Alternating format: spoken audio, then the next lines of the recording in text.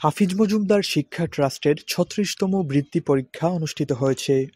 আঠারো ডিসেম্বর বুধবার সকাল এগারোটা থেকে হাফিজ মজুমদার শিক্ষা ট্রাস্টের মাধ্যমিক স্তরের বৃত্তি পরীক্ষা অনুষ্ঠিত হয়। জকিগঞ্জ সরকারি উচ্চ বিদ্যালয় ও ইসামতি উচ্চ বিদ্যালয় এ দুটি কেন্দ্রে নির্ধারিত সময়ে শুরু হয় পরীক্ষা।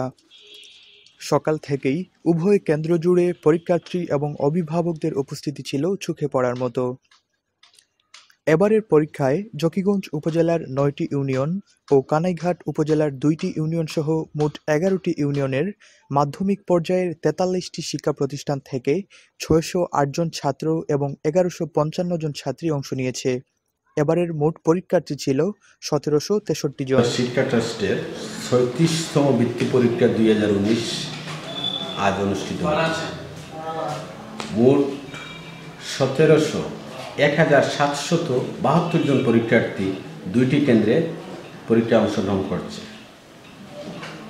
আমি এই পরীক্ষা উপলক্ষে যা প্রতিষ্ঠাতা জনাব আলহাজ হাফিজ আহমদ মজুমদার সাহেবকে স্মরণ করছি।